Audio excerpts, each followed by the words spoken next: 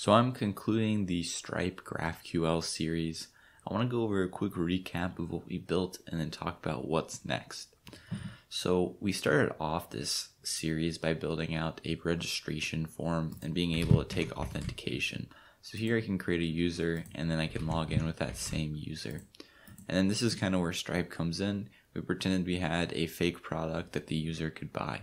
So we could click pay with our card and then we could put in our email and then we could pick a credit card number from this test mode list over here. So for example, I could choose my Visa card and this would actually purchase a, and this would be $10, purchase a subscription for this particular user. And so they get charged on their credit card now, and they're going to get charged every month for $10.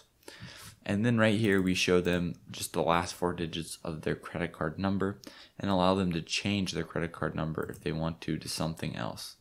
Um, and then we can also cancel the subscription if they don't want to use Stripe or our product anymore. Um, so we can just cancel and then the user goes back to where they were before and they haven't even used it. So pretty much all the little functionality you need to make a very simple subscription service if you wanted to. Now I want to show you how you can take this and actually accept real credit cards. Because right now we're in test mode and so there's really only thing you can accept is these test credit cards right here. So in your dashboard over here, um, and I don't know if I mentioned this before, you can actually see how much money we've gained and whatnot. So it actually gives you the figures from the test data. But there's this little switch right here called viewing test data and you can turn that on.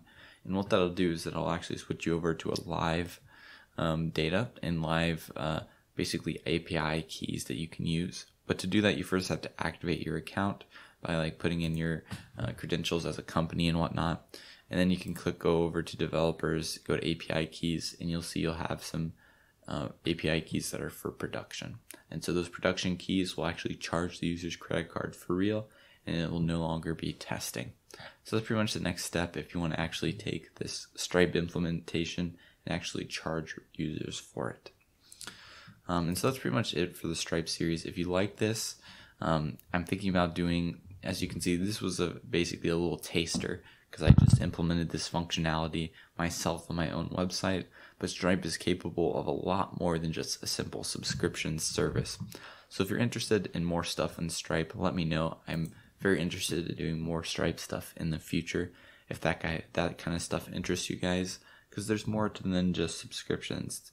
There's also billing, uh, yearly, you know, bi-yearly. There's all sorts of different like routines and schedules you can set up, and custom payments, and take payments through Android Pay, um, and also charge the user based on how much they use instead of a monthly fee.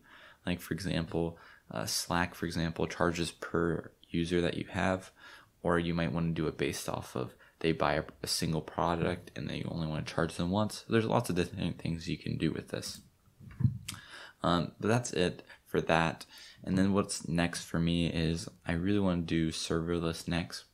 I haven't really decided whether I'm going to do serverless, serverless, like do Lambda stuff, or if I'm going to do uh, Amplify and AppSync next. I'm still trying to decide which one I want to start off with. Uh, I definitely want to eventually get to Amplify and AppSync, but I might start with serverless and do like kind of Lambda and try the different cloud functions, or I might just skip over and go straight to it. Haven't decided yet. And I also haven't decided on a project that I want to build with that yet. So I'm going to go back through some ideas that I've seen people uh, say before, but also you can let me know in the comments below if there's a project you'd like to see me build with AppSync and uh, Amplify or using just uh, the Lambda GraphQL server and use that from AWS or you know Google and Azure also have uh, cloud functions as well. But that's it for this video guys. Thanks for watching.